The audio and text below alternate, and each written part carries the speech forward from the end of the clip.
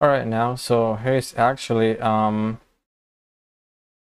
the design that we are going to be using to build this project. So as you can see there is a landing page like that.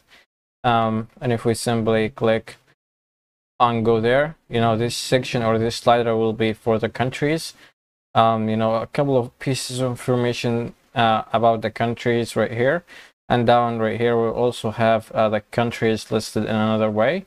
Um, so if you look on you know if we click uh, or if we open up the about page you will see that we will have uh, a couple of um, cities and towns in this country. Um, and as you can see right there there is actually the cities and you know the cities and towns. We can simply click make a reservation and it will actually make a reservation through this form um, for this place as you can see right here. Um, also you, you know normally we'll have a login page and a register page and we will have a deals page like that.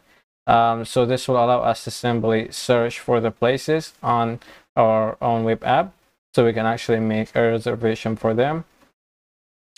So yeah, this will actually be everything.